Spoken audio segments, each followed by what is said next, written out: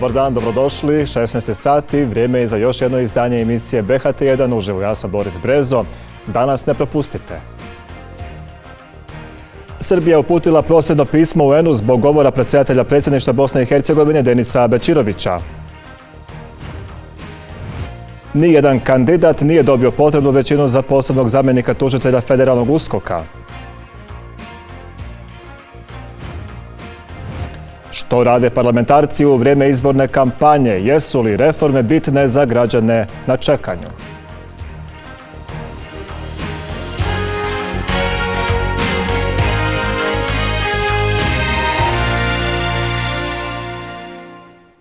Kada će proraditi federalni uskok? Nakon dvodnevne sjednice Visokog sudbenog i tužiteljskog vijeća Bosne i Hercegovine nije imenovan prvi zamjenik glavnog federalnog tužitelja tužiteljstva Federacije Bosne i Hercegovine, odnosno nije imenovan šef takozvanog federalnog uskoka.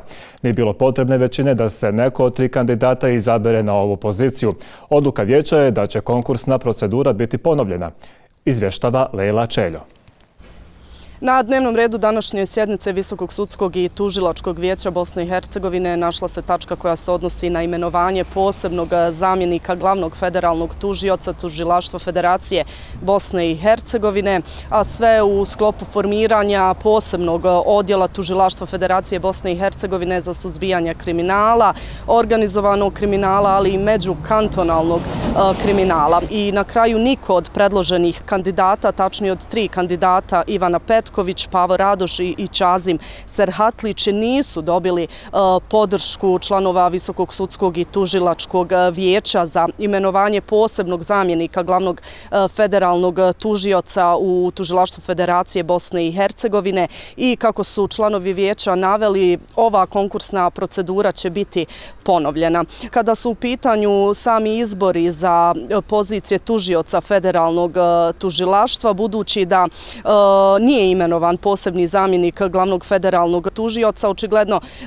da ni ova imenovanja neće biti izvršena, a kako smo e, mogli čuti od predsjednika Visokog sudskog i tužilačkog vijeća Halila Lagumđije, e, sama konkursna procedura će biti prioritet ovog vijeća, bit će ponovljena i kaže vjeruje da bi ova stvar mogla i ovo imenovanje biti završeno do kraja ove godine. Rezultat rasprave i na kraju ono što je bitno rezultat glasanja da niko od tri kandidata za izbor e, šefa tog posebnog odjela u, u, u, u federalnom tužilaštvu, odnosno zamjenika glavnog tužioca koji bi ujedno bio šef tog odjela, nije dobio potrebnu većinu.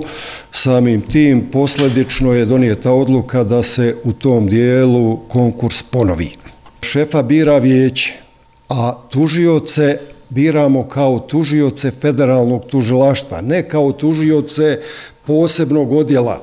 A specifičnost je u tome da te federalne tužioce u posebni odjel predlaže šef odjela. Dakle, mi smo u poziciji da nemamo ovlaštenog predlagača. A sve ovo što se dešavalo na današnjoj sednici Visokog sudskog i tužilačkog vijeća Bosne i Hercegovine ukazuje na to da će teško doći do formiranja takozvanog federalnog uskoka do kraja godine, e, budući da će neke konkursne procedure biti ponovljene, da je vremena malo, ali ja ću podsjetiti da iz ambasade Sjedinjenih američkih država u našoj zemlji e, upozoravaju i insistiraju da ovaj poseban odjel mora biti formiran do kraja ove godine. Lejla Čeljo, BHT1 Sarajevo. Iz Sarajeva u Banja Luku, predsjednik Republike Srpske Milorad Dodik odlikovao je danas predsjednika vlade Srbije Miloša Vučevića ordenom Republike Srpske na Lenti. Vučević je odlikovan za naročite zasluge u razvijanju i učvršćivanju suradnje i političkih odnosa između Republike Srbije i Republike Srpske, kao i za izuzetan doprinos od šireg značaja za opstanak, afirmaciju i razvoj Republike Srpske. Dodik i Vučević otvorili su u Srpcu novo izgrađeni vrtić Srbija i uručili ključeve stanova koji su dodijeljeni mladim bračnim parovima u ovoj lokalnoj zajednici.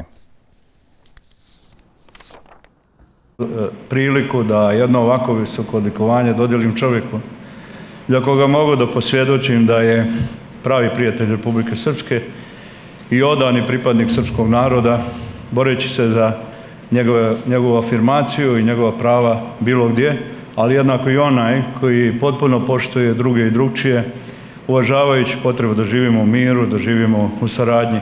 i da ta saradnja bude na najvišem mogućem nivou. Republika Srbija, dok je predsjednik Vučić na čelu države i ja na čelu vlade, će nastaviti, ja neću da kažem pomad, da pomažu, nego da podržavaju Republiku Srpsku. U skladu i sa sporazumom i u skladu sa sve srpskom deklaracijom i u skladu sa Dejtonskim sporazumom. I u to nemojte da sumnjate. Radit ćemo na mnogim projektima, radit ćemo ne samo na infrastrukturi, radit ćemo na boljim uslovima za život građana,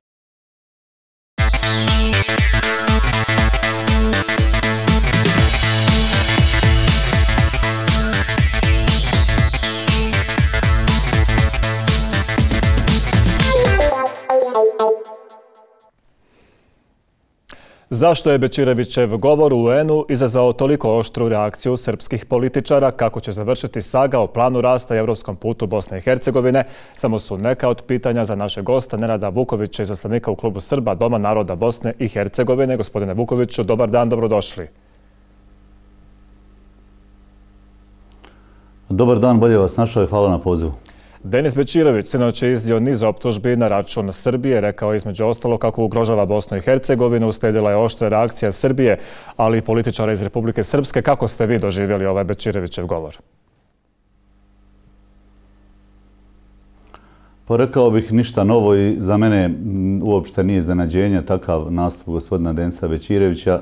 Rekao bih da svjedočimo takvom njegovom narativu Eh, cijelu njegovu političku karijeru još iz vremena dok je bio u parlamentu Bosne i Hercegovine, a naročito od kada je član predsjedništa Bosne i Hercegovine iz reda bošnjačkog naroda. To je jedan od onih političara koji se krije iza SDP-ove građanske priče, a koji je vrlo nacionalno ostrašćen, a kome je, da kažemo, cijeli politički narativ borba eh, sa Beogradom i sa beogradskim političarima u posljednje vrijeme najčešće sa gospodinom Vučićem predsjednikom Republike Srbije. E, rekao bih da je to e, na neki način e, narativ koji pokušava da pridobije što više birača u Federaciji Bosne i Hercegovine, ali s druge strane rekao bih da istovremeno pravi veliku štetu i reputaciji Bosne i Hercegovine i odnosima u cijelom regionu. Ni, ni u kom slučaju se ne slažem sa bilo čim što je iznosio i mislim da je zloupotrijebio mogućnost govora na tako važnom mjestu i dalje usložnio odnose sa Beogradom. Rekli ste i sami da Večerović to govori već dugo vremena i da niko nije iznenađen takvim govorom. Zašto baš sad tako ošte reakcije? Ima li to veze sa predizbornom kampanjom? Je li to iskorišteno da se prikupe politički bodovi na jeftin način i brz? Pa naravno da ima. Sigurno da je ovo period kada se dodatno prikupljaju politički pojeni i kada je vjerovatno još više zaoštrio retoriku prema Beogradu koja i onako obiluje, da kažem, teškim kvalifikacijama i uvijek tražeći neki način da bude u, u polukonfliktu ili totalnom konfliktu da, ali odgovor na Bečirevićev govor iz, iz Srbije. Toliko snažno Sigurno da, da utiče i to što imali smo to veze sa predizbornom kampanjom? Ok, Bečirović, imali veze, tako ošta reakcija na izjave? Pa mislim da, da treba uvijek reagovati na takve stvari. Mislim da ipak ovo nije jedna obična E, E, izjava, niti ovo samo saopštenje za javnost. E, morate e, prihvatiti činjenicu da je on to rekao na veoma, veoma važnom mjestu gdje je takav govor mogao da odjekne širom svijeta i da se time pravi tolika šteta da ona zaslužuje upravo ovakvu reakciju. Znači, onoliko koliko je napravljeno štete, toliko je zaslužuje reagovanja. Bečirović često problematizira deklaraciju Sve Srpskog sabora. Danas je Vučević koji je boravio u Banja Luce, premijer Srbije, ponovio kako Srbija, vlada Srbije ostaje opredeljena iza zapravo te deklaracije da se sve ono što tamo piše provede. Bečirović kaže da je to zapravo dio projekta Velike Srbije. Kako vi to odgovarate na takve optužbe?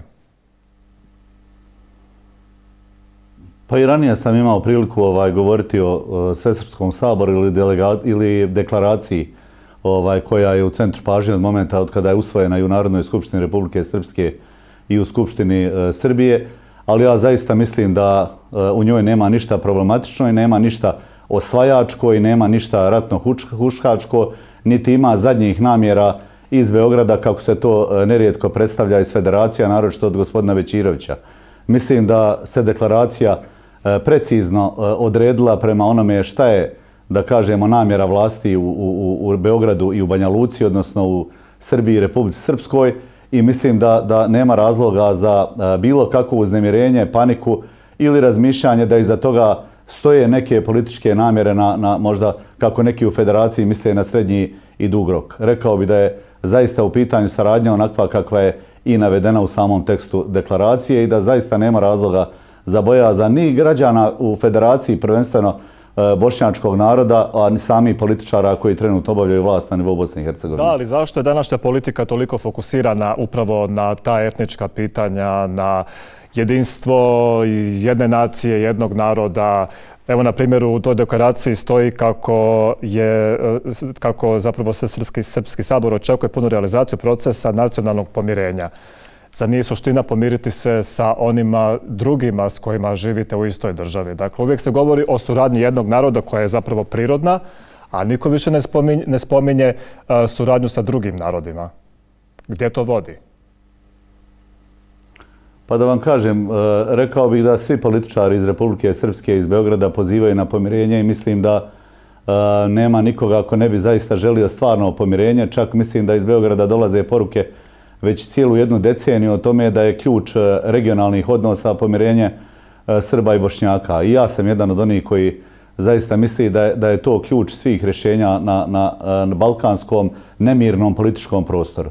Međutim, morate prihvatiti da jedan dio političara koji obavljaju vlast se hrani ovakvim temama, pomoću njih ostaje na vlasti, pomoću njih manipuliše sa javnošću, dovodi u stanje uznemirenosti i straha, a onda u, u, u takvim okolnostima često birači pribjegavaju upravo glasanju za te desničarske snage koje imaju e, naglašenu nacionalnu priču, razmišljajući da će to biti njihova zašta identiteta, e, nacionalnosti, vjere i tako dalje. Prema tome vi to vidite kao i većina građana Bosne, Bosne i Hercegovine da se to događa već neki 15-20 godina u kontinuitetu. Ono što se ja lično nadam je da će sve više i više biti onih koji će odbaciti takve politike, koji će odbaciti takve narative, koji će uh, tražiti neki u... drugi javni nastup političara, a ne samo na, na bazi ovih tema. Da, ali ne vidimo ni u oporbenim redovima neku drugačiju, baš mnogo e, retoriku kada je riječ o nekim temama. Identični su stavovi i SNSD-a, i PDP-a, i SDS-a. Pa evo što se dešava u Banja Luci gdje je PDP u gradonačelnik. Dakle, dvoglavi orao na Banskom dvoru, pa spomenik tvrtku koji je kao odgovor na Sarajevski spomenik. Dakle, uvijek su u fokusu tako neke teme e, oko kojih postoje sporenja. Pa ja bih rekao da nije fair uh, reći da PDP liči ni u kom dijelu na SNSD ili na bilo koga drugog. Mislim da PDP od e, uh, 99. do danas, za 25 godina postojanja je pokazao da je najevropskija politička partija na političkom nebu Republike Srpske, a možda i cijele Bosne i Hercegovine. Međutim, mi baš i nismo nagrađeni eh, od strane birača u prethodnih 20 godina zato što smo pričali o Evropi, o stabilizaciji i pridruživanju, o zakonskoj regulativi, o evropskim standardima, o napretku, obrazovanju i tako dalje, nego su nagrađivani od strane eh, građana na izborima oni koji su upravo eh, više govorili o nacionalnim temama. Prema tome, mislim da je to kontekst neki koji treba sagledati u pogledu ovoga što ste me pitali. Dobro, gdje... S druge strane, nije sporno da je Dobro. PDP kao i ostale političke partije, kao kada ste nabrojali, stoji na približno istom ili sličnom stanovištu što se tiče generalno statusnih pitanja Republike Srpske, nacionalnih pitanja, vjerskih jezika i tako dalje. To nije nikakva novost. Kao što nije novost da i bošnjačke političke partije i hrvatske mahom sve imaju, da kažem, slična stanovišta po najvažnijim pitanjima. Uh, Doći ćemo do retorike nešto kasnije, samo želim čuti vaš komentar na dolazak eh, premijera Srbije u eh, Banja Luku. Njega je Dodik odlikovao ordenom Republike Srpske na Lenti. Eh, čemu služe ta, to, ta odlikovanja? Čovjek je imenovan za premijera prije nekoliko mjeseci. Kad je prije imao priliku dati toliki doprinos pa da bude odlikovan? Pa evo reći ću vam e, svoje mišljenje. Prvo mislim da ne treba tražiti manu ni zamjerku dolazku premijera Srbije u Banja Luku i dobijanju ovog ordena.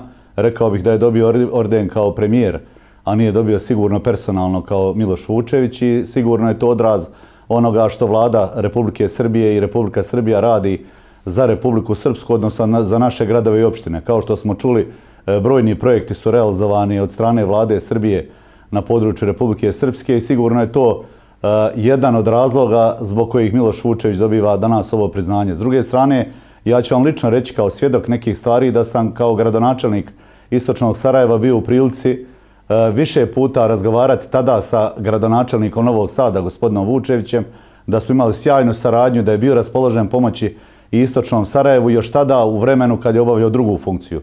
Prema tome radi se o čovjeku koji je prijatelj i Republike Srpske i Bosne i Hercegovine i koji sigurno zaslužuje ovo, ovo priznanje. Ne bih rekao da imamo razloga tražiti primjerbe tome. E, vi ste e, novo izabran, možemo reći, e, u klubu Srba, Doma naroda Bosne i Hercegovine. Sada ne vraćamo film kako je to se bilo. Bila je prije vas tu Snežana Bursać iz SNSD-a. Jeste li suvereno zauzeli tu stolicu, s obzirom da su iz SNSD-a negodovali, pa čak je gospođa Bursać rekla da će ona dolaziti na sjednice bez obzira što nije više e, u klubu Srba?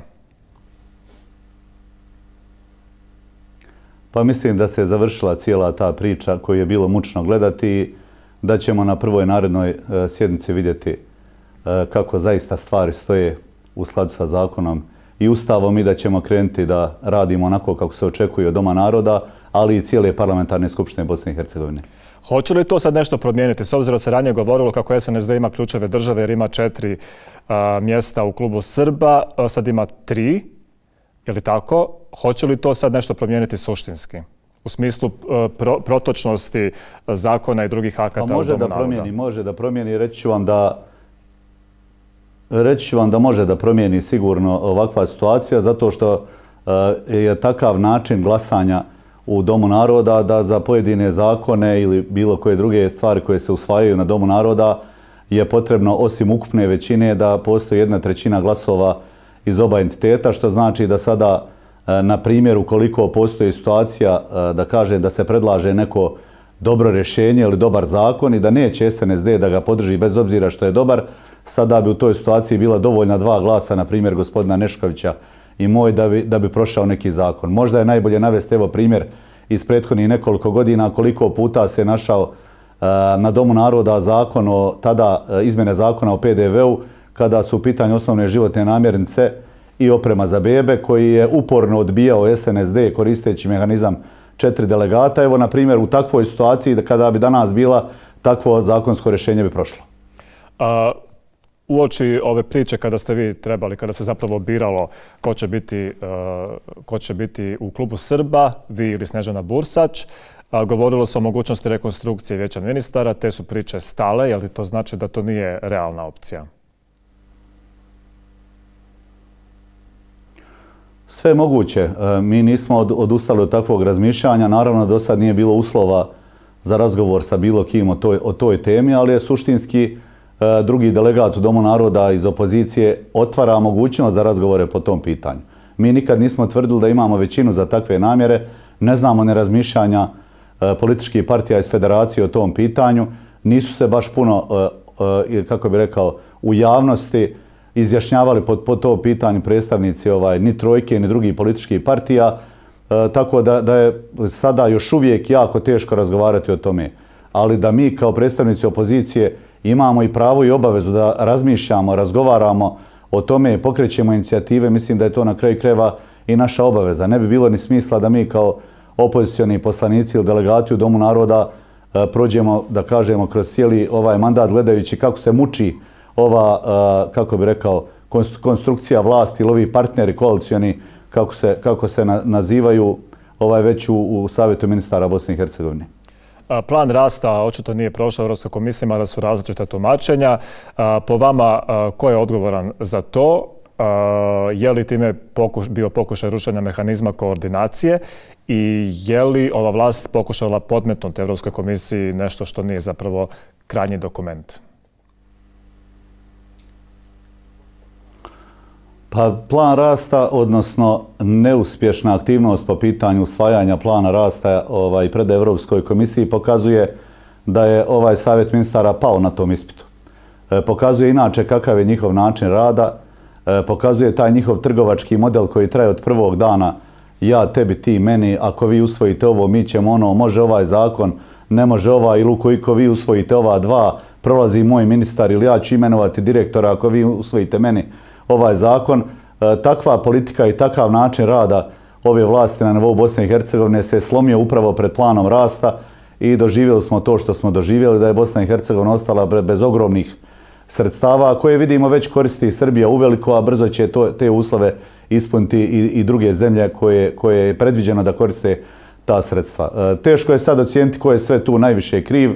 E, kola su se najviše slomila na SDA, na njihovim premijerima kantona, a s druge strane ne bih rekao da su ništa manje krivi e, oni koji sjede u savjetu ministara, a koji su očigledno zbog loše komunikacije sa svima došli u poziciju u koju smo, u koju smo svi, zajedno, svi zajedno došli. Očigledno je da su oni e, ostavili dva važna pitanja neriješena koja su se tražila iz Evropske komisije, a da onda barataju sa određenim postocima želeći da pokažu da su oni dosta toga dogovorili. Pa onda nam nerijetko kažu da je usvojeno, ne znam, 95 ili 98 posto onoga što se je tražilo, ali je suštinski problem što se nije, što se nije e, dogovorilo ono što je možda i ponajvažnije. Prema tome nije slučajno to što je Evropska komisija insistirala da e, plan rasta bude u potpunosti zadovoljen onakav, odnosno uslovi za plan rasta onakvi kako je to tražila Evropska komisija. Kad ste spomenuli dogovore ispod stola, uh, ima li nešto što se krije kada je riječ o neusvajanju programa reformi i onoga što je naveo ministar Helez, da Dodik preko Goganovića ga ucijenjuje zbog nekih drugih stvari u Ministarstvu obrane? Jako mi je teško, ne znam da li mi je teže komentarisati ili gospodina Heleza ili gospodina Dodika. E, vrlo ste mi nezgodno pitanje uputili. Ovaj, nemam ništa dobro reći ni za jednog od te dvojice političara i to sad ko je kom je šta rekao, e, ko je gdje šta čuo i šta je od svega toga istina, stvarno je u domenu teških špekulacija a znajući koliko su jedan drugom uputili otrovni strelica koje su imale za cilj da podignu rejting jednom i drugom kod biračkog tijela, mislim da im samo pomažem bilo kakvim daljim komentarom. Gdje je ova dosadašnja retorika Milorada Dodika i vlasti SNSD-a dovela Republiku Srpsku? Kako ona danas stoji? I ekonomski, ali i politički? A, nije nas baš daleko dovela. Mislim da Republika Srpska danas jako loše stoji u međunarodnim krugovima, jako loše stoji finansijski i mislim da bilo šta od onoga što radi aktualna vlast u Republici Srpskoj a, ne koristi narodu u Republici Srpskoj ni institucijama, nego isključivo sve rade u korist opstanka na vlasti. Svaki njihov potez je na neki način pokušavanje pronalaska slamke spasa da se još neki period napravi privid da je situacija stabilna i dobra. Prečesto slušamo uh, unakrsno funkcionere iz Republike Srpske koji ponavljaju da nemamo finansijskih problema, da smo stabilni, da smo čak najstabilnija ekonomija regiona. Uh, ne možete da vjerujete da su toliko drski da kažu da imamo nikad više prijatelja u svijetu. Uh, prema tome uh, možemo reći da je to jedno klasično ispiranje mozga uh, biračima putem najčešće javnog servisa i još par uh, tele, televizija i to nažalost se radi, radi vrlo uspješno što vidimo Kako kažete lošeg ekonomskog stanja u Republici Srpskoj, to se uvijek govori, no koji su konkretne, evo vi ste u opoziciji, da nam kažete konkretne primjere, plasne, kasne li plaće, šta, šta su konkretni problemi? Znamo da za probleme oko zadoženja, to je čak i priznanje iz vlade Republike Srpske, ali koji su, evo, konkretni promašaj vlasti? Znate kako, ne možete vidjeti lako ekonomske probleme ili budžetske probleme i kako ekonomisti kažu i objašnjavaju slikovito u pitanju je balon koji se vještački duva i koji će nekada pući. To se još uvijek nije desilo i mi imamo privid funkcionisanja sistema. Jer e, vrlo vješto e, ministrica financija, a i predsjednik vlade i predsjednik republike e, stalno obavještavaju kao da je to treba da bude vijest. Isplaćena je penzija, dali smo platu prosvjetnim radnicima, dobili su oni E, koji rade u pravosudnim institucijama, plate i tako dalje, e, želeći da, da na taj način obmanu javnost da je sve u najboljem redu. Ali znate kako vam to izgleda? Kao kad imate kredit i ne plaćate 10 rata i dalje vi mislite da je sve u redu. Međutim, onda jedan dan vam sve bude blokirano imovina i vaš račun i onda shvatite da ste u velikom problemu. Jesu li sankcije utjecale i na takvo stanje? Odnosno, kako su utjecale konkretno na Dodika? Hoće li on promijeniti svoju politiku? Retoriku, hoće li reterirati, neko kaže da hoće, da se to već vidi, neki tvrde da će Dodik ići do kraja, evo, između ostalog ide na summit BRICS-a. Jeste dobro? Oprostite, mislim da će reterirati Dodik sigurno. Na koji način?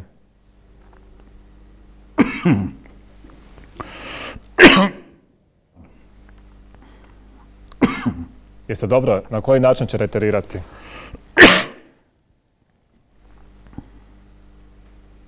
Jel me čujete, gospodine Vukoviću? Biće primorani političkim sredstvima i ekonomskim.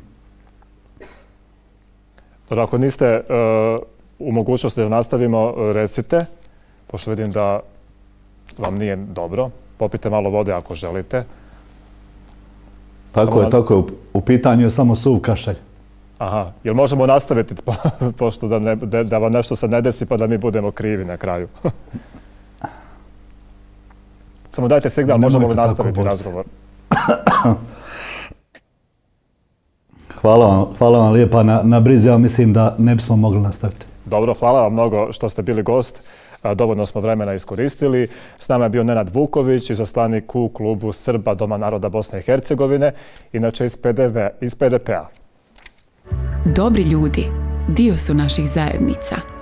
Često, pod velom skromnosti, nesebično daruju svoje vrijeme, znanje ili novac zajednici koju vole. Jer biti dobar nije teško. Pridruži se i ti ljudima filantropskog srca.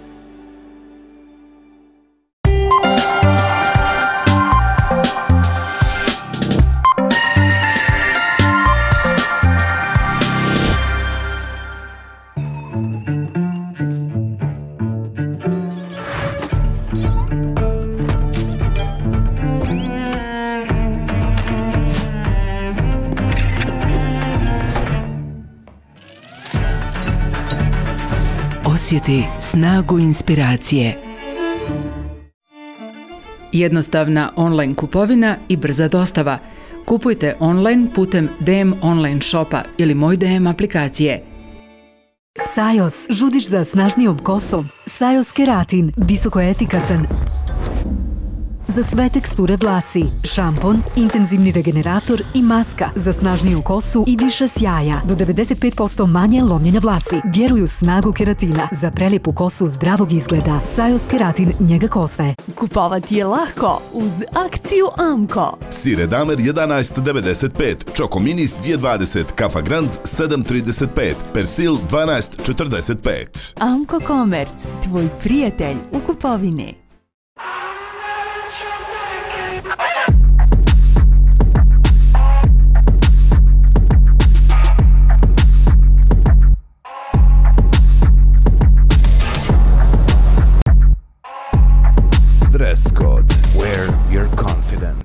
Za glatku kožu bez napora biram Gillette Venus Comfort Glide Sugarberry sa dvije gel trakice za duplu glatkoću i za najosjetljivije regije. Moj favorit je novi Venus za intimnu regiju sa zaštitnom trakom protiv iritacija koja ne dozvoljava oštricama da vrše pritisak na kožu. Moja koža, moj način.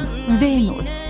Danas slavimo 170 godina, ali nećemo pričati o prošlosti. Danas nazdravljamo budućnosti. Nazdravljamo boljoj demografskoj slici naše zemlje. Nazdravljamo za stabilnu ekonomiju. Nazdravljamo ovom. Nazdravljamo da ovaj ples bude jedina globalna zaraza. I na kraju nazdravljamo tebi. Da bezbrižno uživaš u godinama koje dolaze. Živjeli! Živjeli!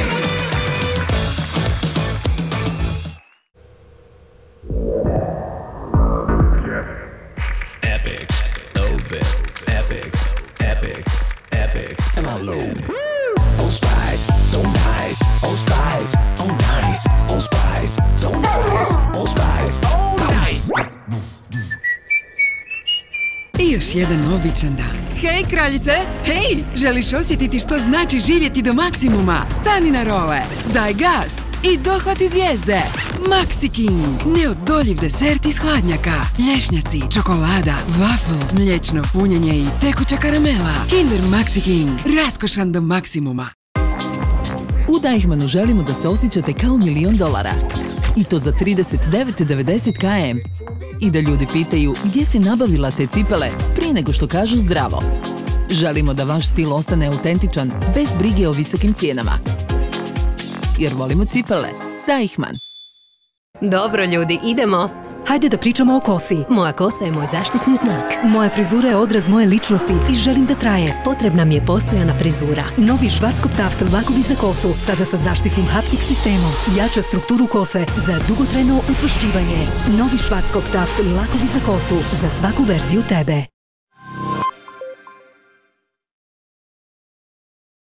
Slavimo filantropiju, dobre ljude i njihova dijela. Pridružite se ljudima filantropskog srca na danima filantropije u BiH.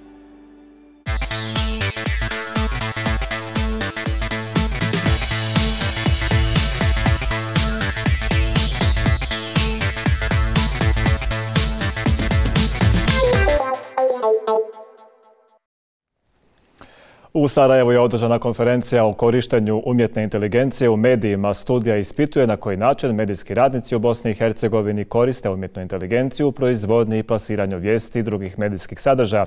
Detaljnije u nastavku Tatjana Rokvić. Na konferenciji o korištenju umjetne inteligencije predstavljena je studija o korištenju umjetne inteligencije u medijima u Bosni i Hercegovini. Zapravo, studija ispituje na koji način novinari i novinarke kao i mediji u Bosni i Hercegovini koriste umjetnu inteligenciju u proizvodnji i plasiranju vijesti i drugih medijskih sadržaja. Konferencija je počela predstavljanjem studije kroz dvije panel diskusije, a stručnjaci u ovoj oblasti govorili su o načinima i najboljim praksama upotrebe umjetne inteligencije inteligencije u novinarstvu, kako u našoj zemlji, tako i šire. Govori se i o načinima na koji način regulisati ovo pitanje. U nastavku detalje saznajemo u izjavama koje smo zabilježili. Isto tako je jasno da umjetna inteligencija sa sobom donosi, odnosno e, predstavlja prijetnju ili donosi rizike. E, zloupotreba umjetne inteligencije može biti štetna za demokratiju, jer e, povjerenje u informacije koje dobivamo je vrlo važno za demokratska društva. Bosna i Hercegovina trenutno znači, ne, nema zakonodavni okvir, niti ima regulatorne a bilo kakve odredbe koje se odnose na umjetnu inteligenciju. Mi kroz Evropsku platformu regulatornih tijela um, koja obuhvata preko 50 regulatornih um, tijela iz Evrope, pratimo i učestvujemo u razgovorima o tome kako da se um, primijene odredbe i šta da regulator znači radi po pitanju umjetne inteligencije. I poprilično veliki bojazan među novinarima da uh, će Uh, vještačka inteligencija doveze do toga da novinar je manje i manje potreban u redakciji, da novinari koji se oslanjaju na upotrebu vještačke inteligencije imaju manje vještine kritičkog razmišljanja. Dodajmo da je istaknuto da se umjetna inteligencija najviše koristi za prijevode prema provedenim studijama, ali isto tako istaknuto je da umjetna inteligencija može biti i štetna jer se može koristiti i u negativne svrhe. Dakle, umjetna inteligencija može donijeti dobre stvari, ali isto tako može biti i prijetnja. Poručeno je sa konferencije. Tatjana Rokvić, BHT1, Sarajevo.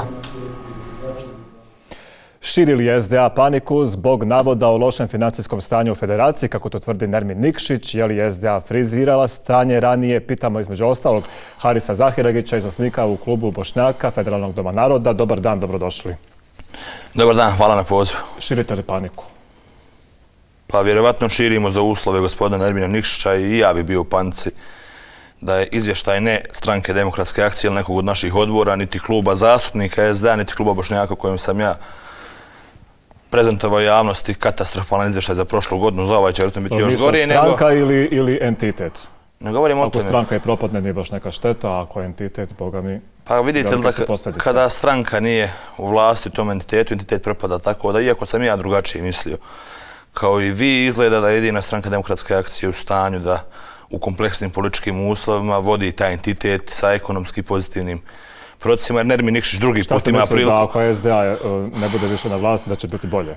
Pa nije, nego sam mislio da nije nužno da SDA mora biti na vlasti, da postoje možda i neke druge stranke nekada, da nije loše da SDA ode u opoziciju. Naravno, ne na ovakav način, nego kada građanin to odluči, a ne visoki predstavnik Kristijan Schmidt, ali to svemu lošem sam mislio da možda nešto može i biti dobro. Da neki novi kadrovi mogu donijeti neku novu energiju, da je meritokracija koju su nam oni obećali, a donijeli nam kupljene diplome i doktorate, da izvrsnost koju su nam obećali, a doveli kadrove nesposobne, također sa sumnjivim kupljenim diplomama i u ministarstva. To znači da su isti kao javna, nisu, nisu slični, nisu mi takve ljude kadrove, nisu imenovali funkciju. Kako niste imali, imali Kada ste... jesmo? Kako niste? Ko je bio direktor OSE? Ko je bio... Znači, Govorimo o federalnom nivou, a gospodin Osman Mehmedagić je bio direktor OSE, on nije imao pa kupljenu diplomu. razina je država A šta je kada ste već spomenuli diplomu gospodina Mehmedagića? To je jedina diploma koju uporno spominjete, ne vi, nego generalno javnost, opozicija i mediji ili današnja vlast. Šta je sporno vezi diplome gospodina Mehmedagića, možete mi reći? Ovdje ja postavljam pitanja, ne vi. Ma, vidite, ja znam da ste vi radili s Emilom Burđević, da je to njen trik koji ona iskoristila, ali trebali ste vidjeti da ja imam način na to neutrališem. Pošto je ovo dijalog, a nije ispitivanje, imam ja pravo da postavim pitanje. Pazite, Gospodin Mehmedagić rekli ste da je čovjeku diploma sporna. Možete li mi reći koja je njegova diploma sporna? Znači se ne može utvrditi koja je od tri koje je on predočio? Može se utvrditi. Nemojte govoriti neistinu. Vidite, ovo je, vidite, ja znam da ste vi bili na jedan dugo privatnoj televiziji, ipak je ovo javni servis. za koje sam vi morate paziti da govorite istinu. Ja, ja govorim samo činjenice. Podlježete dakle, mogućnosti za tužbu, ne daj Bože. Diplome nikad tužiteljstvo nije moglo doći do nijedne diplome. Ma moglo je, naravno. Znate koja je diploma bila sporna? Gospodin Osman Mehmedagić je imao dvije godine na pravnom fakultetu u Sarajevu, a onda je razliku završio jednom od fakulteta i Unitetu RS. Nakon što je Milorad Dodik političku akciju napravio i tražio poništenje te njegove diplome u Unitetu RS, direktor inspekcije Entiteta RS nije htio da takvu vrstu rješenja nezakonitog donese, zbog toga je smijenjen. Na njegovo mjesto donesen drugi doveden drugi direktor koji je poništio tu diplomu.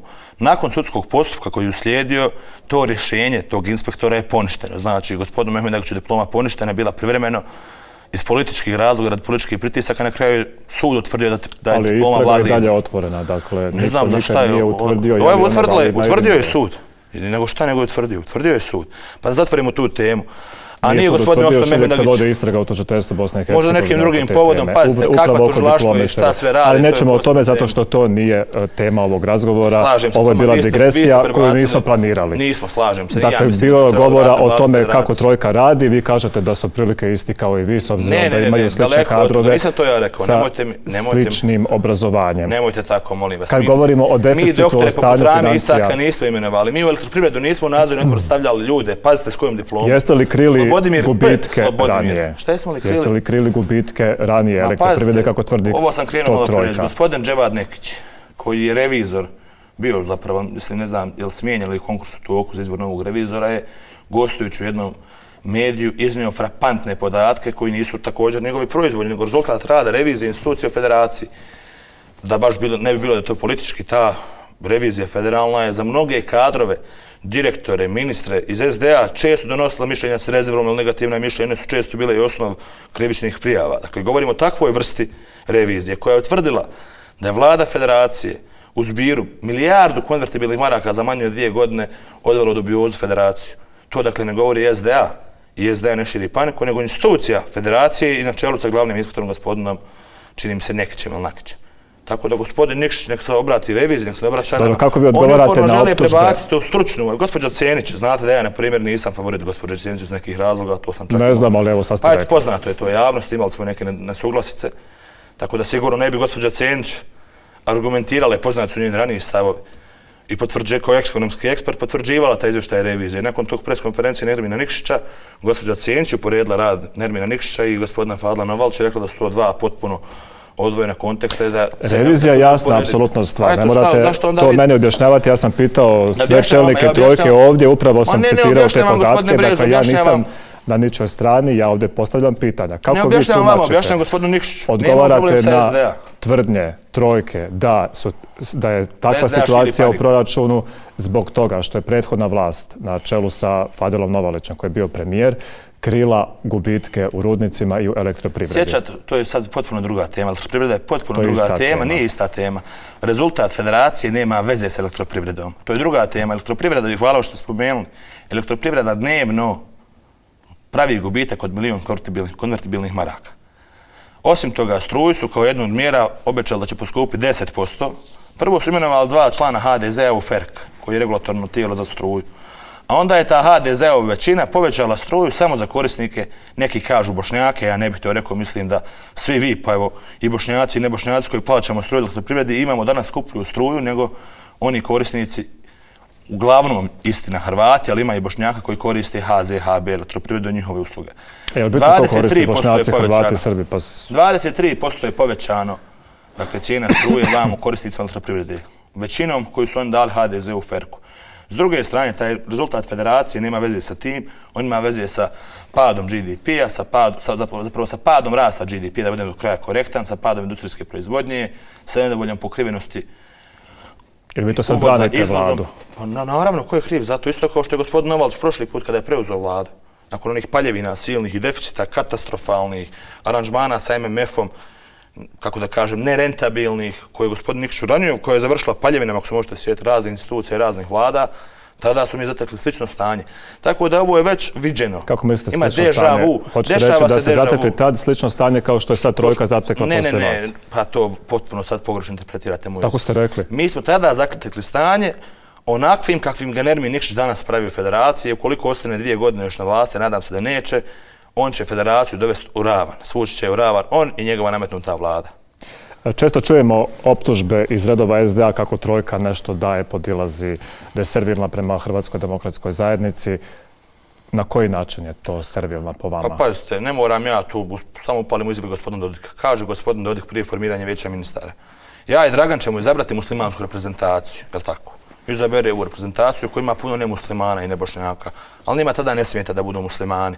Ni Predragu Kojeviću, ni Saši Magazinoviću, ni raznim ljevičarima koji su čak a priori ateisti, agnostici, tako se i predstavljaju, takve političke programe imaju, ne smeta im da ih stavlja gospodin Dodik, Duški Jurišić recimo, da ih on stavlja u muslimansku reprezentaciju. Nakon toga ih naziva invalidskom strukturom, psuje im genocid u Srebrenici u lice, nakon čega oni nastavljaju sjetiti na tom sastanku.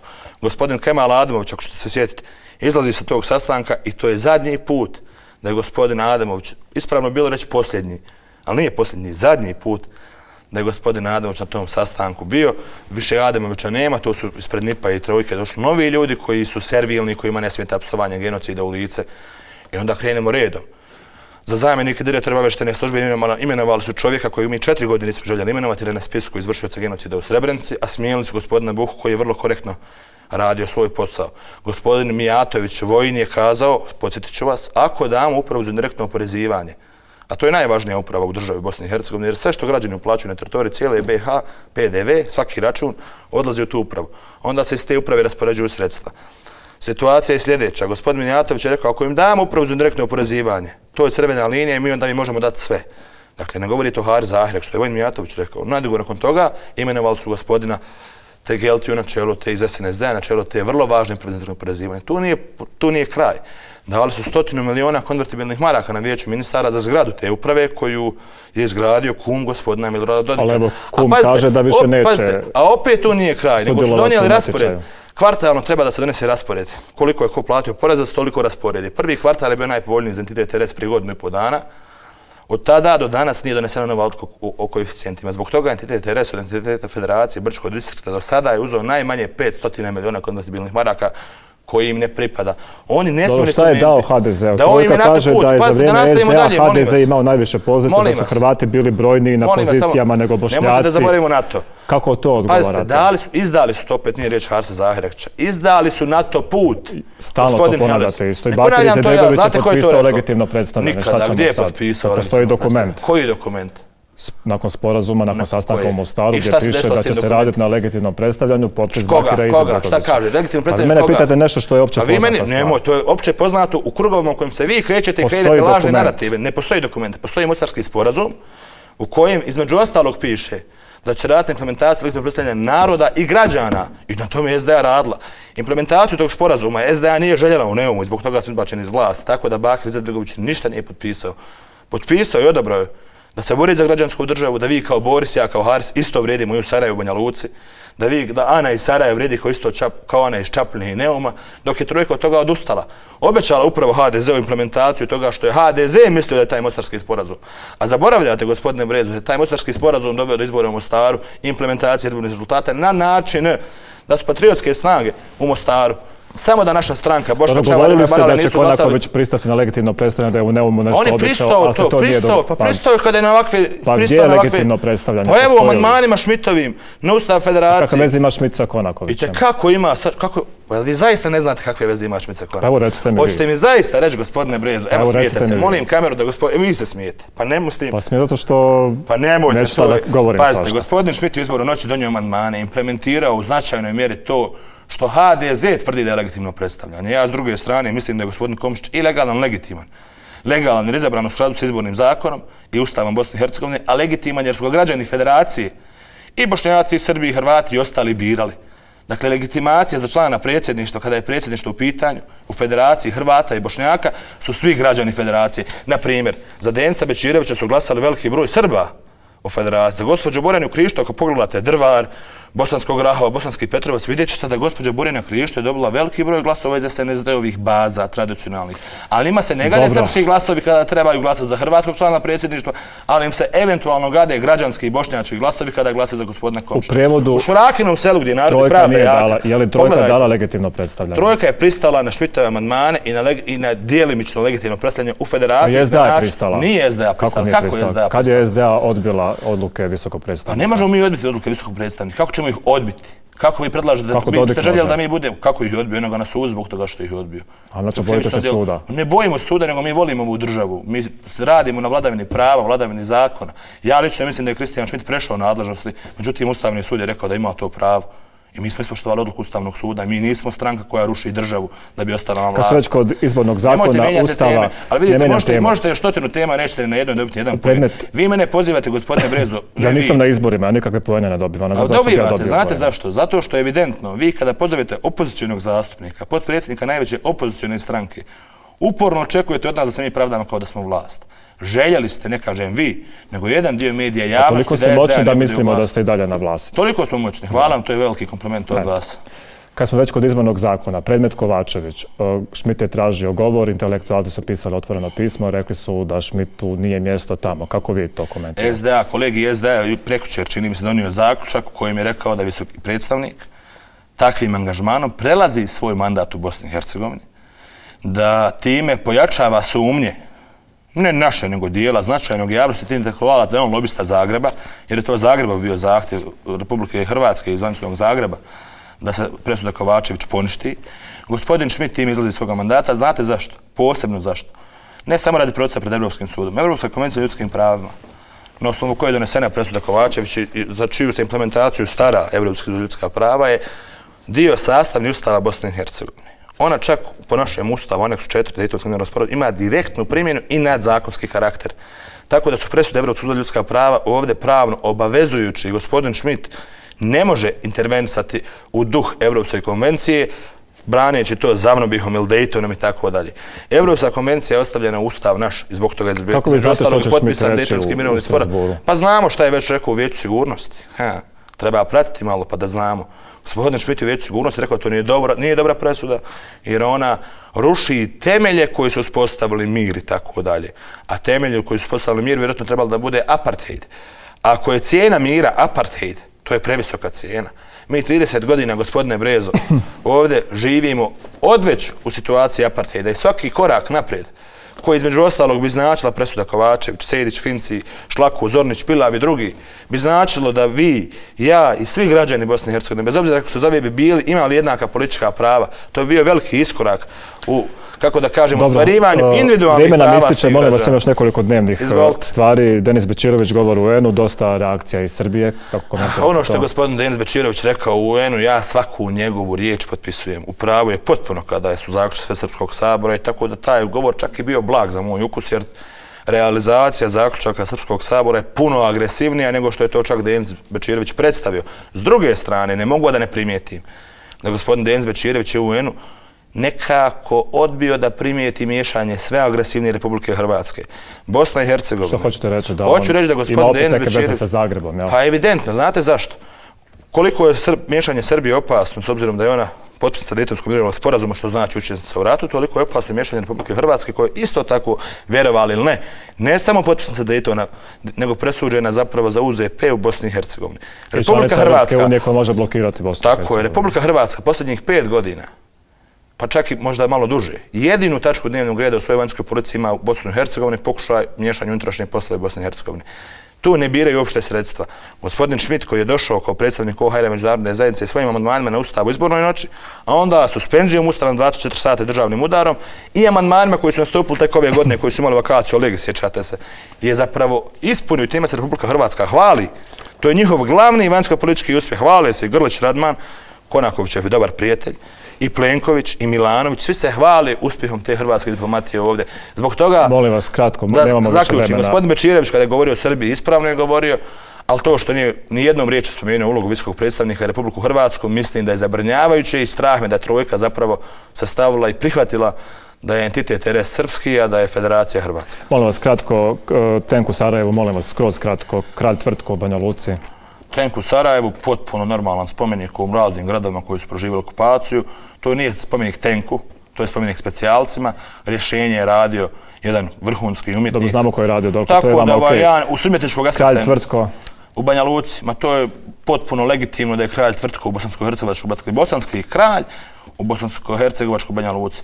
Ono što piše na spomeniku kralj Tvrtku, što sam ja imao priliku da vidim da je neki srpski kralj i ta interpretacija i narativ koji kreiraju je već opasna opasna interpretacija, pogrešna historija koja neće umanjiti vrijednost srednjovjekovne Bosne, nego će još uvijek generacije koje dolaze iz Banja Luke i generalno tu srpsku politiku i mlade njihove godinama u, u budućnosti držati u zabludama Trebali- i omogućavati napredak i Banja Luke i Bosne i Hercegovine i cijelog Skroz kratko, treba li registar pedofila u Federaciji biti dostupan svim građanima? A zašto da ne, naravno treba, zašto ne bi trebao biti dostupan registar svih pedofila, s tim da treba razvojiti šta je pedofilija i ja bi to gradirao, jer uh, ne bih baš sve ljude izjednačio, ne bi izjednačio nekoga ko je pogrešno gledao, neko ko je silovao dječaka ili djevojčicu, tako ima i, i ta pedofilija, složite se, ima svoju gradaciju, pa bih tu možda definisao koji su to slučaj najopasniji, koji su najeksplicitniji, takve vrste ponašanja bi svakako stavio na javni stup srama i na takav način ih onemogućio da budu učesnici aktivni svakodnevnog društvenog života. Hvala Brzo vam prođe za emisija, da? Brzo je prošlo jako. Hvala vam za ovo gostovanje. Hvala vama. Idemo dalje sa našim temama u BHT1 uživo.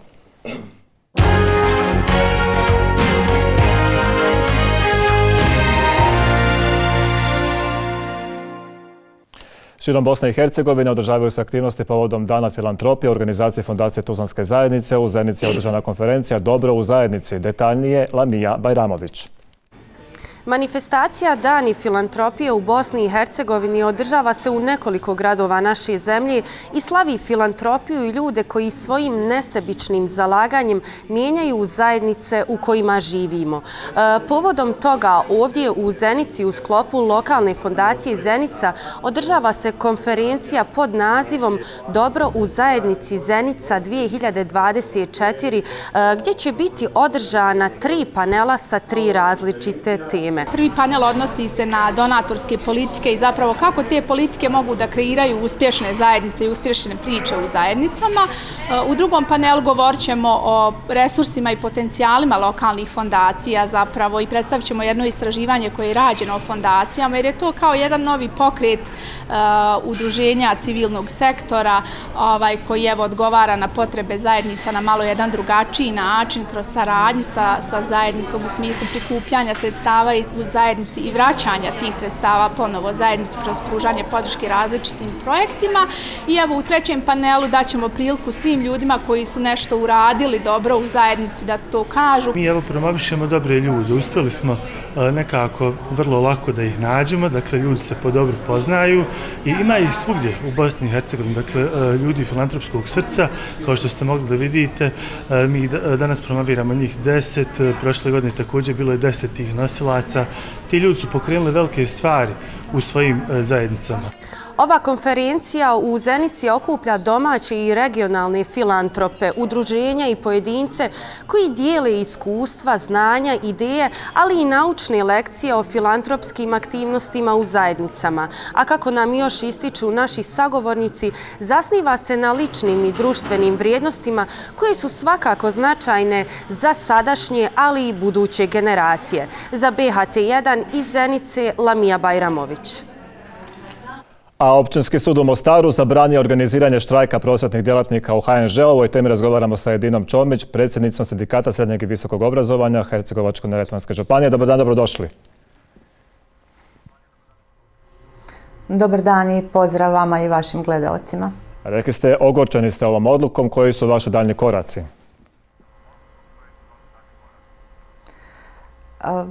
Samo bih htjela da pojasnim da ovo nije još uvijek zabrana štrajka, ovo je privremena mjera i općinski sud je odbio prigovor, naš prigovor na privremenu mjeru. Znači mi tek očekujemo um, očitanje suda da li će on donijeti zabranu ili ne. Ali evo za sad, dakle, nema organiziranja štrajka. Dakle, čekate odluku, šta nakon odluke? E, nakon odluke, znači to smo već danas dogovorili krenula je anketa među našim članovima da organiziramo protestnu šetnju ponovo u narednu srijedu. To je, je li to 5. i 10. simbolično na dan nastavnika, učitelja zapravo? Je li tako? 5. i 10. je subota. Mi smo se zbog svojih obaveza koje imam, koji neki od nas imaju tih dana odlučili da to bude srijeda, ali simbolično je to ipak povezano sa tim datumom. Nismo se odlučili na subotu, pošto ni e, vlada neće raditi, znači protestna šetnja koja uvijek završava pred zgradom vlade u subotu ne bi imala smisla. Dobro. A u rješenju suda stoji kako sindikati nisu ispoštovali proces miranja, mirenja niti dogovoreni poslovi koji se ne prekidaju za vrijeme štrajka, te da bi se štrajkom nanijela nemjerljiva šteta djeci i kršila konvencija o pravima djeteta. Kako odgovarate na to? Pa prije svega ja ću napomenuti, ovdje ću se obratiti prije svega našem članstvu koje gleda ovu emisiju, da im se pojasni da je nama još u februaru rečeno ako uđemo u štrajk da će on biti nezakonit. E, sama ta rečenica je rekla dovoljno da će oni učiniti sve da bez obzira kako god se taj štrajk bude pripremio, da on bude proglašen nezakonitim. Znači sve što je navedeno u presudi nije tačno. Znači mirovno e, vijeće nije formirano, ali ne zato što mi nismo htjeli, znači mi smo podnijeli zahtjev za formiranje mirovnog vijeća i dobili smo odgovor da na našem kantonu ne postoji lista miritelja. Pa smo im podnijeli drugi zahtjev za mirovno vijeće da sa federalne liste miritelja oforme to mirovno vijeće, na što nismo dobili odgovor. Pa smo onda ponijeli urgenciju na, na taj zahtjev, I u jednom momentu premijerka i ministar su nam napisali dopis u kojem stoji da e, nema osnova za štrajk, pa prema tome nema osnova ni za formiranje mirovnog vijeća. Znači oni tim e, dopisom u stvari govore da njihova namjera nije bila ni da, ni da se formira mirovno vijeće. Znači to nije prepreka ako smo mi čekali po zakonskom roku 30 dana da se mirovno vijeće formira, ako ono nije formirano, to nije razlog da mi ne uđemo u štrajk. Što se tiče e, minimuma poslova koji se moraju obavljati, naša je sreća da u kolektivnom ugovoru mi imamo propisane te poslove. Tako da nama mirovno vijeće u tom kontekstu nije bilo ni potrebno jer mi te poslove imamo opisane detaljno. Zatim su napisali da ih nismo poslali, što također nije tačno. E, najava štrajka je sadržala i razloge ulaska u štrajk, ali i minimum poslova, jer nam je tako savjetovao pravnik koji se izuzetno bavi ovim zakonom o štrajku i sindikalnim pravima. Tako da sve to što su nabrojali, osim konvencije o pravima djeteta, nije tačno. Čak su rekli da je naš advokat zakasnio sa prigovorom, što također nije e, tačno jer smo mi dobili e, rješenje o privremenoj mjeri u petak, samo jedan sindikat u četvrtak, ostali u petak, dva čak poslje podne i kad je on mogao u roku od tri dana podnijeti prigovor nego u ponedjeljak. Dobro, jasno, znači, sve ste sad to objasne, nema mnogo vremena. Dana, bi bila... Molim vas, moram vas samo kratko još u nekoliko sekundi da ponovite koji su vaše zahtjevi. Dobar dio naših zahtjeva je ispunjen. Evo, ako već nemate vremena, ne bih se vraćala na to što je ispunjeno, a glavni problem je zapeo oko tog povećanja plaće, jer smo tražili da nam se za narednu godinu obeća da će doći do povećanja, kako smo radili sa prethodnom vladom. Znači, i ostale vlade u drugim kantonima, ako je to već rizik, jeli, kao što kažu, preuzimaju taj rizik i dogovaraju sa sindikatima od prvi prvog uvijek neko povećanje. Mi nismo uspjeli sa našom vladom tu se usaglasiti. Zadovoljni smo sa onim što nam je ponuđeno u ovom momentu.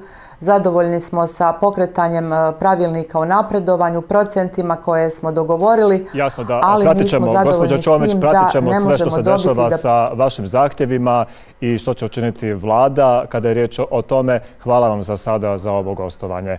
Uživo iz Mostara, s nama je bila Edina Čomić, predsjednica sindikata srednjeg i visokog obrazovanja.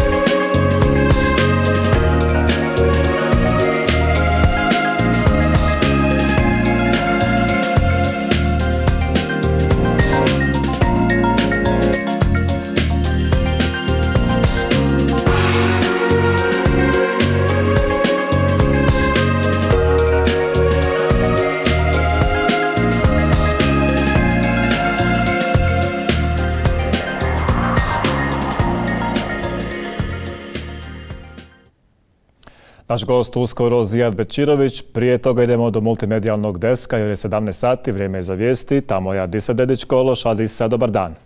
Lijep pozdrav Borise tebi i našim gledateljima. Srbija je uputila protestno pismo generalnom sekretaru Ujedinjenih naroda i predsjedniku Generalne skupštine UN-a nakon što je predsjedavajući predsjedništva Bosne i Hercegovine Denis Bečirović u srijedu kazao da srbijansko vođstvo prijeti suverenitetu i teritorijalnom integritetu Bosne i Hercegovine. Bečirović je to rekao tokom obraćanja Generalnoj skupštini Ujedinjenih naroda u Njujorku, kada je također istakao da su velikodržavne aspiracije Srbije prema teritorijama drugih zemalja u regionu suštinski razlozi zbog kojih su Bosna i Hercegovina i Zapadni Balkan izloženi novim opasnostima. Ladies and gentlemen, here Dame i gospodo, ovdje za govornicom Generalne skupštine UN-a javno želim upozoriti svjetsku javnost da rukovodstvo Republike Srbije ponovo ugrožava suverenitet i teritorijalni integritet Bosne i Hercegovine. Jedan od dokaza koji govori o tome je i destruktivna deklaracija takozvanog Svesrpskog sabora. Mogu da kažem da je svojim delovanjem pokazao da maligno pokušava da podrije dejtonski poredak unutar Bosne i Hercegovine. Danas ta deklaracija pokušava da se ospori. Ona upravo poziva samo i na jedno, a to je mir. A u okviru mira među nama u regionu, da se razvijamo svakog u okviru svojih potencijala. Mi to tako razumijemo. U njoj nema skrivenih planova, a pogotovo ne nikakvih ratnih. Na sjednici Visokog sudskog i tužilačkog vijeća Bosne i Hercegovine niti jedan od troje kandidata nije dobio potrebnu većinu za izbor na mjesto posebnog zamjenika tužioca Federalnog ureda za suzbijanje korupcije i organiziranog kriminaliteta. Članovi su odlučili da će ponoviti konkursnu proceduru za ovu poziciju. Dakle, e, rezultat rasprave i na kraju ono što je bitno rezultat glasanja da niko od tri kandidata za izbor e, šefa tog posebnog odjela u, u, u, u federalnom tužilaštvu, odnosno zamjenika glavnog tužioca koji bi ujedno bio šef tog odjela, nije dobio potrebnu većinu. Samim tim posledično je donijeta odluka da se u tom dijelu konkurs ponovi. Predsjednik Republike Srpske Milorad Dodik odlikovao je danas predsjednika vlade Srbije Miloša Vučevića ordenom Republike Srpske na Lenti. Vučević je odlikovan za naročite zasluge u razvijanju i učešćivanju saradnje i političkih odnosa između Republike Srbije i Republike Srpske, kao i za izuzetan doprinos od šireg značaja za opstanak, afirmaciju i razvoj Republike Srpske. Dodik i Vučević otvorili su u Srpcu novoizgrađeni vrtić Srbija i uručili ključeve stanova koji su dodijeljeni mladim bračnim parovima u ovoj lokalnoj zajednici.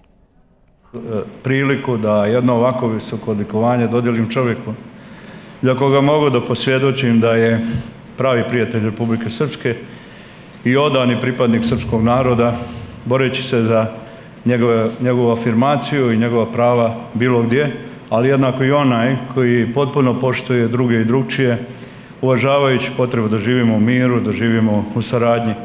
i da ta saradnja bude na najvišem mogućem nivou. Republika Srbija, dok je predsjednik Vučić na čelu države i ja na čelu vlade, će nastaviti, ja neću da kažem da pomažu, nego da podržavaju Republiku Srpsku. U skladu i sa sporazumom i u skladu sa svesrpskom deklaracijom i u skladu sa Dejtonskim sporazumom. I u to nemojte da sumnjate. Radit ćemo na mnogim projektima, radit ćemo ne samo na infrastrukturi, radit ćemo na boljim ustavima za život građana. Članovi zajedničkog kolegija oba doma parlamentarne skupštine Bosne i Hercegovine razgovarali su sa novoimenovanim šefom delegacije Evropske unije u Bosni i Hercegovini, ambasadorom Luigijem Sorekom. Naglašena je potreba da se što prije postigne saglasnost oko plana rasta. Ambasador Soreka izrazio je očekivanje da će u vrlo kratkom periodu biti ratificiran sporazum o priznavanju profesionalnih kvalifikacija medicinskih sestara, veterinara, farmaceuta i babica, koji je dio berlinskog procesa. Zatim da će biti usvojen strateški plan ruralnog razvoja Bosne i Hercegovine za period od 2023. do 2027. godine, kao i biti imenovan sastav Komisije za odlučivanje o sukobu interesa u institucijama Bosne i Hercegovine. Izraelska vojska saopćila je da je pokrenula napade na Bejrut, a navodi se da je meta bio komandant Hezbolaha. Ured izraelskog premijera objavio je izjavu na X nalogu Medjamina Netanjahua, te kažu da vijest o prekidu vatre nije istinita i obećavaju da će nastaviti sa napadima na Liban. Libansko ministarstvo zdravstva kaže da se broj ubijenih u izraelskim zračnim napadima danas popeo na 26. Izrael je nastavio svoj napadi preko Gaze, pri čemu je ubijeno najmanje 15 palestinaca. Pozivam vijeće da radi na tome kako bi osiguralo povlačenje Izraela sa svih okupiranih libanskih teritorija. Ističemo i potrebu hitnog zaustavljanja izraelske agresije na gazu, jer se reperkusije onoga što se tamo događa direktno odražavaju na situaciju u Libanu i regiji, te se neće zaustaviti na njegovim granicama, već mogu obuhvatiti i cijeli Bliski istok ako se ne riješe što je brže moguće. Sud pravde Evropske unije odbio je žalbu katalonskih separatističkih lidera Carlesa Puigdemona i Tonija Komina, koji su tražili priznanje za zastupnike u Evropskom parlamentu nakon što im je odbijeno 2019. godine, saopćili su i suda. Uprkos tome što su izabrani na izborima za Evropski parlament 2019. godine, status im nije priznat jer nisu položili zakletvu kojom su se obavezali na poštivanje španskog ustava, što je postupak koji se inače obavlja osobno u Madridu. Puigdemon je pobjegao iz Španije 2017. godine kako bi izbjegao krivični progon nakon kratkotrajne deklaracije o nezavisnosti Katalonije koja je potaknula Madrid da preuzme direktnu kontrolu nad regionom.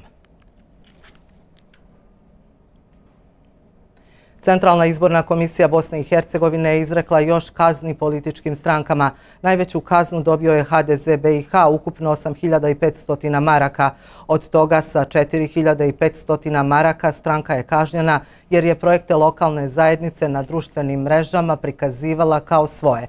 Kazna od 4000 maraka HDZ u BiH, ali SDP u BiH izrečena jer je član biračkog odbora bio delegiran ispred HDZ-a, iako je član SDP-a, što je trgovina biračkim mjestima.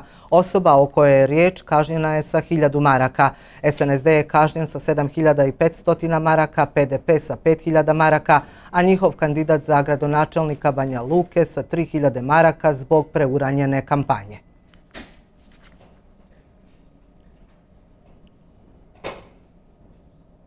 Vrhovni sud Republike Srpske pravosnažno je osudio DK iz Kostajnice na četiri godine zatvora zbog obljube maloljetnika.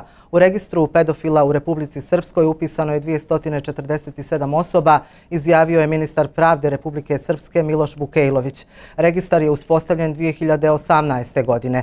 Bukejlović je podsjetio i da prema odredbama krivičnog zakonika Republike Srpske izrečena kazna zatvora do jedne godine ne može biti zamijenjena novčanom za krivična dijela trgovina djecom, udruživanje radi vršenja krivičnih dijela trgovine ljudima i djecom, zatim krivična dijela seksualnog zlostavljanja i iskorištavanja djeteta, kao i na činioce koji su ranije dva ili više puta osuđeni za isto krivično dijelo. Danas je u Federaciji Bosne i Hercegovine stupio na snagu pravilnik o registru pedofila i taj registar će biti tajan i trajan te dostupan institucijama.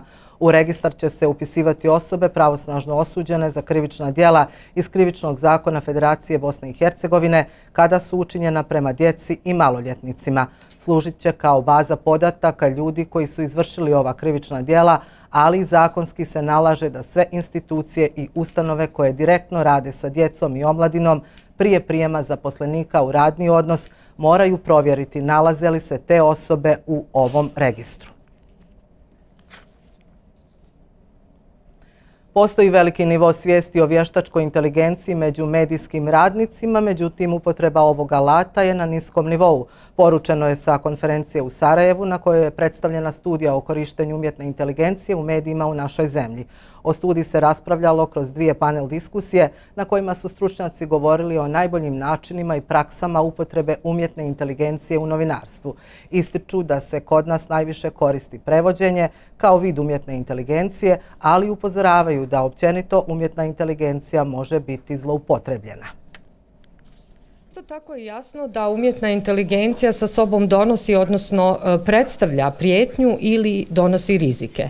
E, zloupotreba umjetne inteligencije može biti štetna za demokratiju, jer e, povjerenje u informacije koje dobivamo je vrlo važno za demokratska društva. Bosna i Hercegovina trenutno znači, ne, nema zakonodavni okvir, niti ima regulatorne a bilo kakve odredbe koje se odnose na umjetnu inteligenciju. Međutim, imajući u vidu da je ovaj zakon umjetnoj inteligenciji na nivou Europske unije donesen um, u ovoj godini, u maju 24. mi u tom segmentu evo i ne zaostajemo. Volonterska akcija 72 sata bez kompromisa koja se u Bosni i Hercegovini realizira od 2008. godine, međunarodni je projekt koji animira mlade i promiče solidarnost, zajedništvo, kreativnost, ali i volontersko djelovanje. Cilj projekta je okupiti učenike i studente kako bi zajedničkim snagama i akcijama pokazali da se može preobraziti društvo u kojem živimo. Trebamo pozivati na solidarnost i na uh, potrebu da ljudi priskoče u pomoć i stalno ponavljam u granicama svojih mogućnosti. Glavna svrha jeste mobilizirati što veći broj volontera kako bismo zajedno radili na konkretnim projektima koji će unaprijeti kvalitetu života u lokalnim zajednicama. Cilj nam je ne samo postići konkretne rezultate, već i inspirirati i motivirati građane da se aktivno uključuju u volonterske aktivnosti i prepoznaju njihovu važnost za društvo. I toliko u vijestima, vraćamo se u studio BHT1 uživo i našem Borisu. Hvala ti Adisa, mi smo ponovno u studiju C, nastavljamo druženje u BHT1 uživo. Ostanite s nama i ne propustite.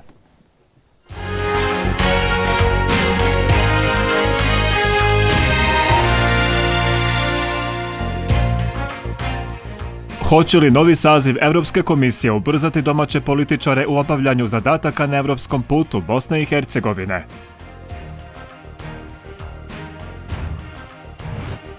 U Bosni i Hercegovini u posljednjih 25 godina urađeno 350 transplantacija bubrega, od čega na UKC u Tuzla čak 253.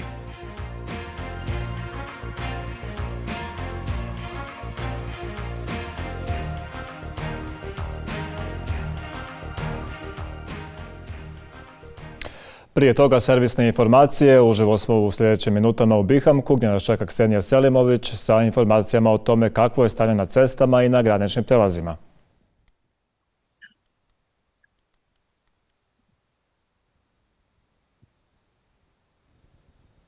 Ksenija, izvoli. Pa, dobar dan, Boris, lijep pozdrav vama i naravno vašim gledateljima. Uvjeti za vožnju danas su povoljni, a promet vozila pojačan u gradskim centrima i na prilazima gradovima. Na mjestima gdje se izvode radovi saobraća se usporeno, a vožnja na ovim mjestima zahtjeva povećanu pažnju i poštivanje privremeno postavljene saobraćajne signalizacije. Zbog izvođenja radova na zamjeni prelaznih naprava na vijaduktu Reljevo na dionici autoceste Sarajevo-Sjever-Bucila vozila se obraćaju jednom trakom u pravcu kretanja.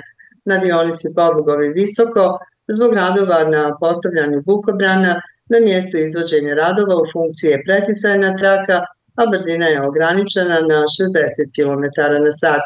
Na magistralnom putu Matuzići Doboj na ulazu u Doboj zbog aktualnih radova saobraćao se usporeno na izmjeničnim propuštanjem vozila. S obzirom da se radi o izrazito frekventnoj dionici, na mjestu radova tokom dana formiraju se duže kolone vozila u oba smjera, pa vozače molimo za strpljenje i razumijevanje. Sanacioni radovi aktuelni su i na magistralnim putevima Bosanska Krupa, Bosanska Otoka, kao ni Gromilja, Klivno Kamensko, Gračanica Doboj, Kladan Živinice, Prozorama Jablanica, Foča Ustikolina, Tačin Konjici i Međeđa Višegrad. Duga su zadržavanja u oba smjera na graničnom prelazu Gradiška. Na ostalim graničnim prelazima putnička vozila ne čekaju duže od 30 minuta. Sve detaljne informacije mogu se dobiti putem telefona 1325. Svima koji putuju želimo sretan put, a vama i vašim kolegama ugodan ostatak dana. I vama također, bila je to uživo iz Bihamka, Ksenija Selimović.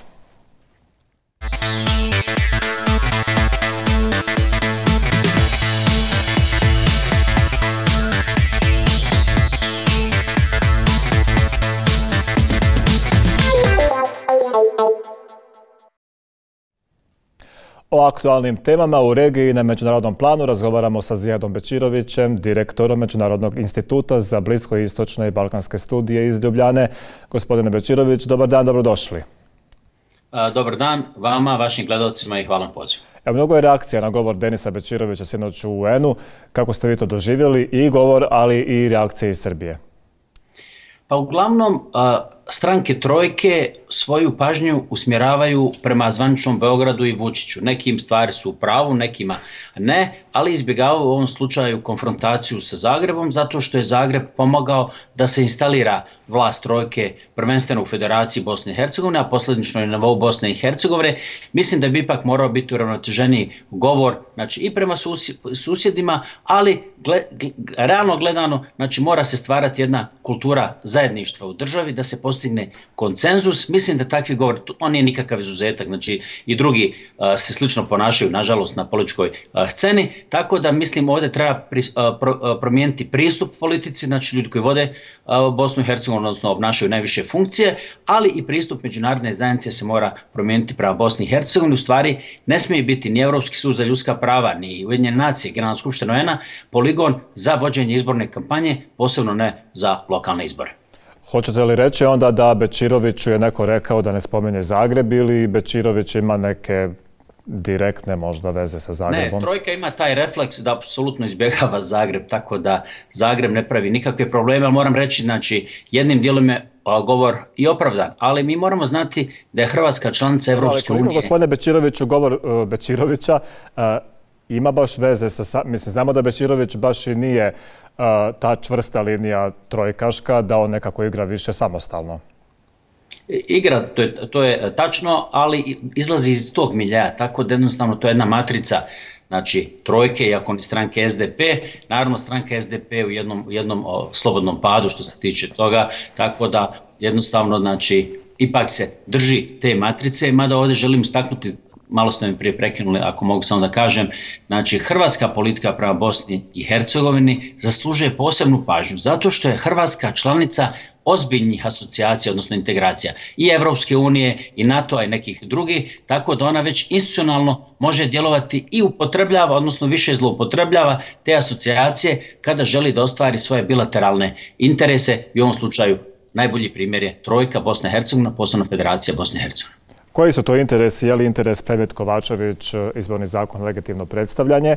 I kako u taj kontekst staviti upravo ovaj žalbeni postupak u predmetu Kovačević pred sudom u Strasburu? I mnogi osuđuju Šmita da je tražio da se obrati sudu po nalogu Zagreba. Koliko je to vama realno? Vidim da ste prilično stavovima bliski tim strujama koje govore upravo tu retoriku. A nisam nikome blizak što se tiče toga jer nisam akter političke scene nigdje pa ni u Bosni i Hercegovini, ali objašnjavam znači, šta se dešava znači, na osnovu činjenica, argumenata, informacija koje znam i samog spisa, znači suskog spiska i, spisa i prvobitne presude u slučaju dr. Slaven Kovačević prema, protiv Bosne i Hercegovine. Ovdje nije, nije potrebno biti o, previše pametan, jasno je da Hrvatska ponavlja kao mantru znači novi izborni zakon u Bosni i Hercegovini, a u stvari a, i dolazak Kristijana Šmita je u funkciji da dođe do novog izbornog zakona u Bosni i Hercegovini po volji Hrvatske demokratske zajednice i čelništva Republike Hrvatske. I to kada slušate njihovog ministra vanjskih poslova Gordana Grlića Radmana, on to stavno ponavlja, nešto ređe Plenković, naravno Milanović ima neko svoje, svoje viđenje situacije, ali generalno cilj je da se u stvari kroz odluku drugostepenu, odnosno u žalbenom postupku, potvrdi diskriminacija u Bosni i Hercegovini, a tom odlukom u stvari ponište i prethodne odluke. Jedna od njih je Sejdić Finci, Zornić, Pilav i, i druge, kako bi se u stvari išlo na legitimno predstavljanje, a to legitimno predstavljanje u evropskim okvirima znači značilo bi da u stvari je kraj multietničkih multietničkih društava, znači nije samo društava u Bosni i Hercegovini i principa na kojima počiva Vijeće Evrope kao najstarija demokratska institucija, a time posledično, posledično Evropska unija. Imam jednu zanimljivu situaciju da Moskva želi znači vojno da porazi Evropu, a kroz ovakva sustavna rešenja znači želi Hrvatska radikalne desničarske krugovi Evropi u stvari da razore samo, Evro, samo Evropsku uniju i nije slučajno što su upravo radikalni desničarski evropski krugovi vezani vezani sa Moskvom, a naravno i organskom vezom Hrvatska demokratska zajednica. Tako da je to jedna vrlo poprilično kompleksna situacija gdje imamo znači, koordinaciju znači, međunarodnu da se izlobira, da do toga dođe na kraju krajeva vidimo da je visoki predstavnik Kristian Schmidt sam sebe proglasio prijateljem Bosne i Hercegovine. Da biste nekom bili prijatelj, on vas prije svega mora percipirati kao, kao prijatelja. Naravno, tu je iskorištena i donedavna generalna sekretarka Vijeća Evrope, Marija Pe e, Pečinović-Burić, pa imamo ove dvije agentke kojeg su 19. marta, znači odlukom Vijeća ministara koju je potpisala Borina Krišto, zamijenjeni, tamo piše odluka, smijen, odluka nastupa na snagu odmah, to je Monika Mić i Harisa Bačvić, tako da vrlo jedno kompleksno pitanje, ali ta presuda može imati daleko stežne posljedice, ne samo za Bosnu i Hercegovinu, nego i za samu znači, Evropu, cijelini evropske vrijednosti. na tankim nogama čim je tolika panika u probosanskim redovima, jer mnogi tvrde da bi, ukoliko ne prođe ova presuda Kovačević, da bi to uzdrmalo, ako ne, urušilo temelje prethodnih presuda Sedeć Finci, Zorneć i tako dalje. Jeste, to sam upravo sada rekao, znači cilj je da se one sruše jer se one nisu željele, nisu htjele implementirati, ali bi se ovako znači jednim udarcem uh, to srušilo iz razloga što bi najnovija presuda postala dio pravne prakse i znači u mnogim drugim sporovima za posličnim pitanjima se bi se pozivali na to. Evo recimo reću vam vrlo jednostavno. Imate predsjednika Rumunije Klausa Johanisa on je recimo etnički njemac. On je čak prije te funkcije bio gradonačelnik jednog njemačkog grada u Rumuniji, ko ne zna, znači tamo ima čisto i njemačkih gradova. Da li bi on bio legitimni predstavnik Njemačke, da, o, a, a, ako bi ga bi, a, da li bi on bio legitimni predstavnik Rumuna, ako je on kao etnički Njemac na čelu te države. Ili recimo, evo ja ovdje živim u Sloveniji, da li bi predsjednica Nataša Pirc-Musar mogla biti moja predsjednica zato što ne pripadam recimo iz te većinske etničke zajednice. Onda se postavlja pitanje, nju izabrala većinska etnička zajednica, da li ona može biti moja predstavnica, pošto ja nisam recimo imao predstavnika iz neke svoje, da tako kažem, po znacima navoda etničke zajednice. Ili, ili neka druga pitanja, recimo da li premijer Češke, Andrej Babiš koji je bio premijer, on je etnički Slovak pa na kraju krajeva imate Rišija Sunaka koji je bio premijer Ujedinjenog kraljevstva, imate mnogo tih stvari koje od, znači, podriva temelje demokratije, jer temelj demokratije je i veza sa državom građanina, odnosno državljanina je državljanstvo. Znači, relativno trajna veza pojedinca i države. I vi imate prava i obaveze na osnovu državljanstva crpite, a ne crpite to zato što ste vi ove ili one etničke pripadnosti. Dobro, pošto kažete da su se urotili protiv ove presude u predmetu Kovačević i Šmit i Zagreb i ko zna ko još, koliko je onda izgledno da se ta odluka preinači? Postoje šanse, ali i postoje šanse da se ona ne preinači. Mislim da će ipak prevladati ovo drugo, da se neće preinačiti, ali se zaista vodi do sad jedna neviđena kampanja da se znači sustavno, institucionalnim putem ostvare neki, neki interesi i mislim da, da će tenzija rasti kada je to, kada je to u, u pitanju, pogotovo što, što je tu uključena moćna lobička struktura, pa na kraju krajeva spomene se ta advokatska ili odvjetnička kancelarija iz, iz, iz Velike Britanije, ali puno je tu u pozadini dešavanja u samom sekretarijatu, izvjestitelju za to, onda i uloge tih agentica nelegalnih kojima je mandat istekao i u stvari koje su smijenjene odlukom vijeća ministara 19. maja, maja ove godine, ali znači, moramo se boriti ovdje, znači nije to samo pitanje Bosne i Hercegovine, ni apalanta Slavena Kovačevića, ovdje u pitanju budućnost Evrope i budućnost multietničkih država. Zato što bi eventualna presuda postala dio pravne prakse, odnosno pravne stečevne i to je opasno. E, još nekoliko tema. Plan rasta, kako komentirate slanjene usuglašenog dokumenta i hoće li druge zemlje u regiji biti taoci Bosne i Hercegovine s obzirom da niko neće dobiti novac dok, svi, dok, se svi ne, dok svi ne završe svoj dio posla? Znači, ko poznaje sustav Evropske unije zna da je to jedan ogroman birokratski aparat. I on ima vrlo stroga, striktna pravila. Vi vidite, recimo, u Evropskom parlamentu, kada dobije riječ poslanik, on ima minutu da kaže.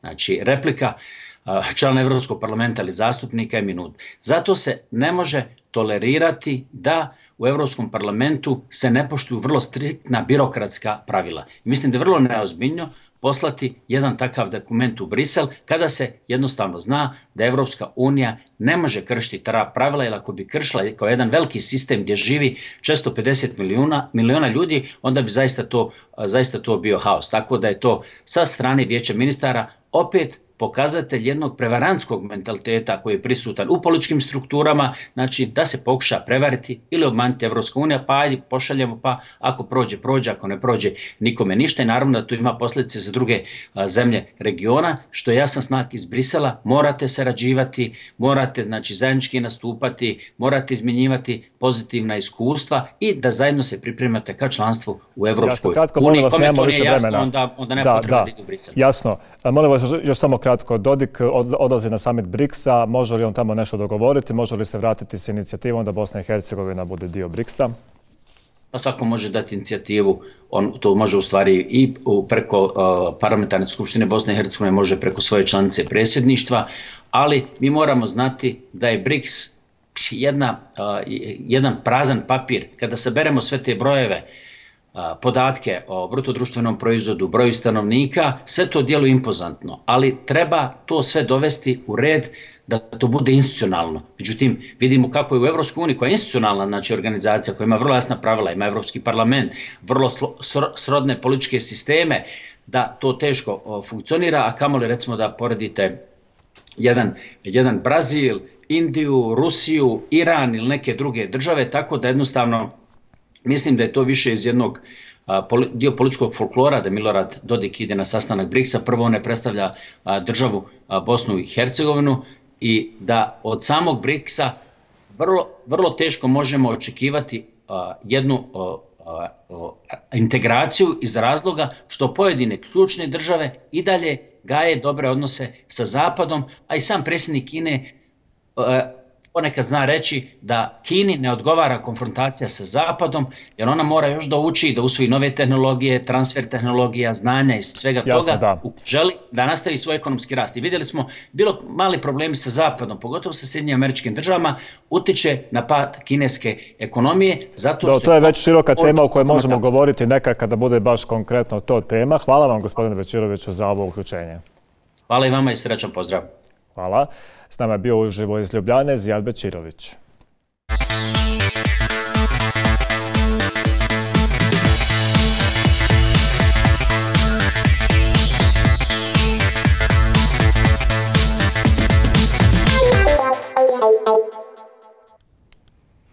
Prije 25 godina na Univerzitetskom kliničkom centru Tuzla obavljena je prva transplantacija bubrega. U tom razdoblju urađeno je 505 transplantacija organa i transplantacija matičnih ćelija. Transplantacijska medicina je jedan od strateških ciljeva kliničkog centra i do sada je u Tuzli urađeno oko 90% svih transplantacija u Bosni i Hercegovini.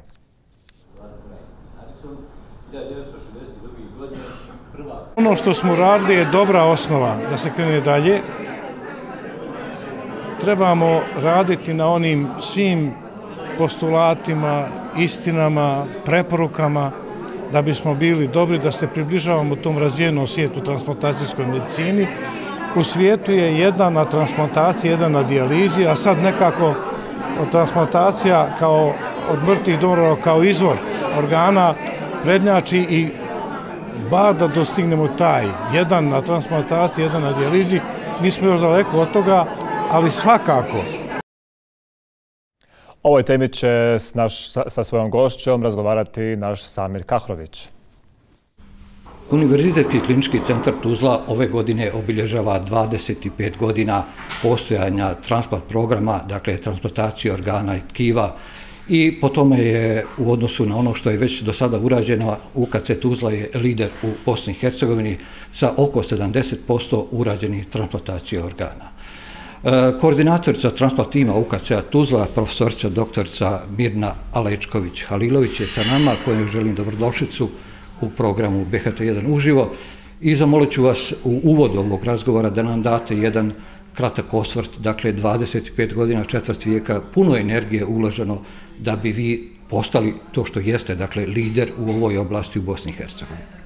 Tako je. E, hvala vam. E, hoću da vam kažem upravo tako, ovaj, teško je prepričati sve te stvari, ali nekako neki miljokazi, neki ključni događaji bili su kada su nefrolozi, što je sasvim logično jer su oni u najviše u dodiru sa pacijentima kojima treba transplantacija bubrega, bili inicijatori da se počne u našoj e, državi raditi posljeratnoj Bosni i Hercegovini, počne ponovno rad transplantacijska ovaj, medicina. Dakle, nefrolozi su bili i ostali pacemakeri tog ovaj, programa.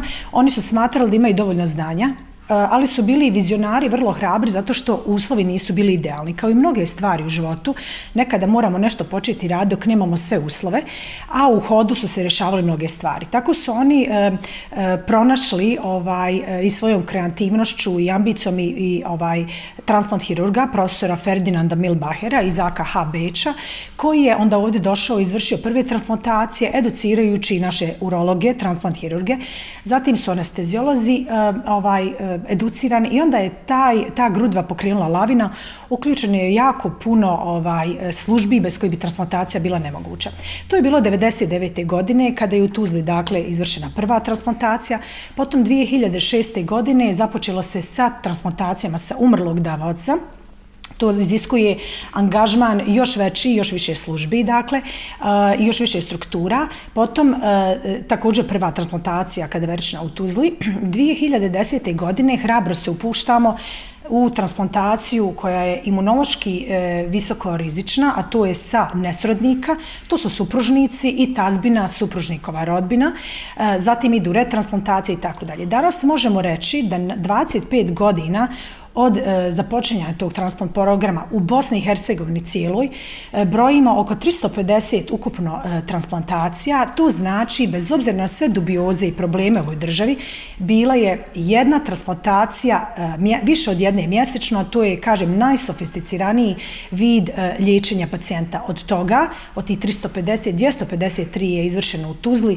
dakle 75% transplantacije se vrši u Tuzli, što je čini liderom u Bosni i Hercegovini. I sad, evo, zamolit ću vas zbog pojašnjenja našim gledalcima, možda malo prostičnije da, da približite ovo.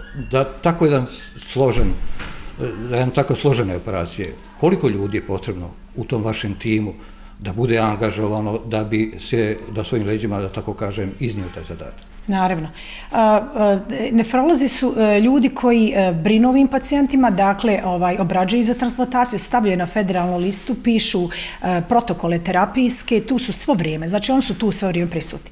Urolozi su oni koji operišu, izvršavaju samu operaciju transplantacije. Bez anestezijologa znamo i perioperativna priprema sama operacija ne može da prođe. Ali tu je jako veliki broj ljudi za koje mi kažemo da su iza kamera, uopšte se ne zna za njih, to su znači bez koji se ne može radiolozi, imunolozi, e, patolozi, e, biohemija, e, kardiovaskularna hirurgija koja je i druge hirurgije uključene koliko postoji potreba. Dakle, bojimo se da ne zaboravimo nekog, skoro pa svaka ovaj Ovaj oblast u jednoj bolnici koja se bavi transplantacijom ili eksplantacijom organa je uključena. I moram da kažem da je transplantacija, pored toga što je najbolji vid zamjene funkcije organa, za pacijenta pruža najbolji kvalitet života. Za državu je na dugoročno najjeftiniji i moram da kažem da uh, one bolnice koje se bavi transplantacijom, od njih imaju korist apsolutno sve službe, čak i one koje u prividno nemaju dakle e, doticaje sa transplantacijom. I naravno uvijek je potrebna ono što smo imali podršku, dakle, uprave, e, države, e, organa u toj državi, zakonodavne i tako dalje. Ono što vi ste malo prije kazali, dakle, da, nažalost, zbog, često slušamo, dakle, primjer Hrvatske u regiji kao jedne zemlje koji je izrazito pozitivan primjer, dakle, kada govorimo o transplantacijama, o donorskom mreži. Kod nas to, nažalost, nije tako. Što smatrate, gdje je problem ovome? Brojne su kampanje da bi se razvila ta donorska mreža, da bi, dakle, imali i sve veći broj transplantacija organa sa preminulih pacijenata.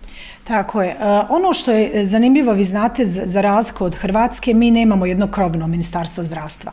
Transplantacija je najuspješnija u državama u kojima je ona nacionalni projekat, kao što je Hrvatska i kao što je sjajna Španija koja je napravila brend od transplantacije i od njih svi učimo.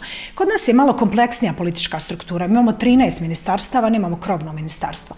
Međutim, ono što smo mi ovdje dokazali u Bosni i Hercegovini, naravno nefrolozi koji su na nivou Bosne i Hercegovine vrlo saradljivi, ovaj, e, e, mi smo dokazali da lokalna ovaj, i entuzijazam i lokalna kreativnost može da nadiđe te probleme. E sada, kada smo dokazali da lokalno a ne samo nacionalno, možemo da djelujemo, sad nam je vrijeme da se ujedinimo i da lokalna iskustva i saznanja e, prenesemo na transplantaciju drugih organa. Vidite, moramo da kažemo, malo nam je to i simbolično, poslije 25 godina transplantacija desila se transplantacija srca u Sarajevu i ja kolegama i mi kolegama čestitamo i nadamo se da ćemo svi slijediti njihov primjer.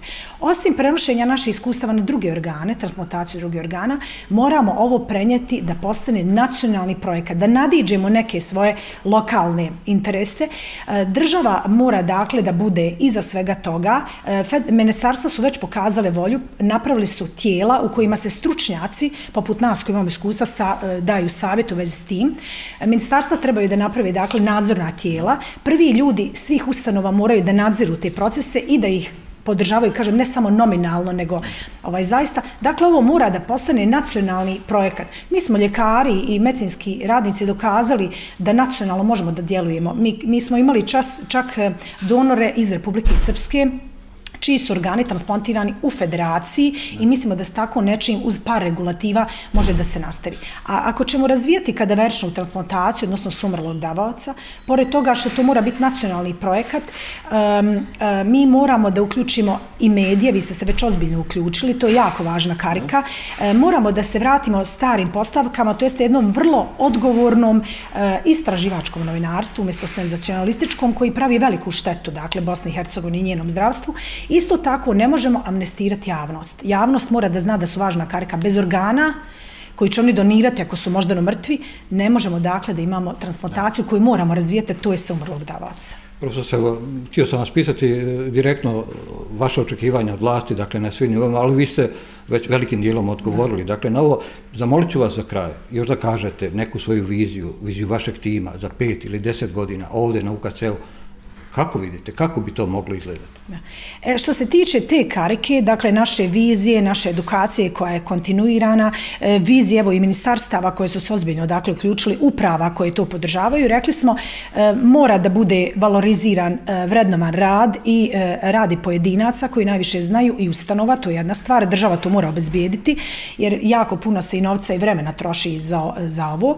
Međutim, kažem, ta važna karika, to je e, ova, javnost, mora da bude educirana. Ja moram da kažem, krasno ste spomenuli da je glavnina toga u stvari transplantacija sa živi davaoca, 80%. Ukoliko želimo da razvijamo transplantaciju i ukoliko želimo da zadovoljimo potrebe, onda je potrebno da razvijamo sa umrlog davaoca. Moram reći da je bubrežna bolest najbrža narastajući pobol i uzrok smrtnosti u svijetu. Svaki deseti građanin Bosne i e, svijeta je bubrežni bolesnik. Tako da moram da poručim da smo mi svi više u većem riziku da nam treba transplantacija organa Koliko nego da budemo... Koliko konkretno pacijenata čeka na transplantaciju, odnosno koji su na hemodijalizi? Na hemodijalizi, dakle, negdje oko 2000 nešto pacijenata, dakle, ali nisu svi e, na listi, neki imaju kontraindikacije, ali jako puno i potrebe rastu svakim danom. Zato mi svi trebamo da se podsjetimo, da mi prije treba, možemo trebati organ nego ga dati, da molim vas još danas na stranici donorske mreže potpišemo donorsku karticu, za one koji su malo praznovjerniji,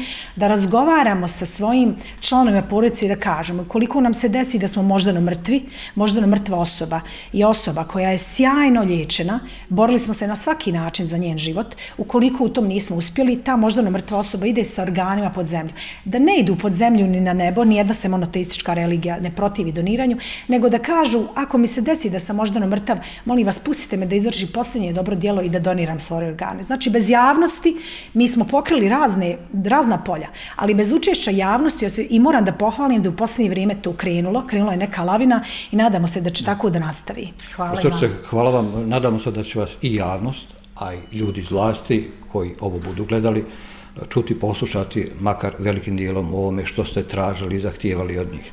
Aha. Gošće našeg magazina bila je profesorica doktorica Mirna Alečković-Halilović, e, koordinatorica transplantima na UKC u Tuzlu. I ovim razgovorom završavamo naše druženje u BHT1 uživo za danas. Mi se vidimo ponovno sutra od 16 sati. Doviđenja.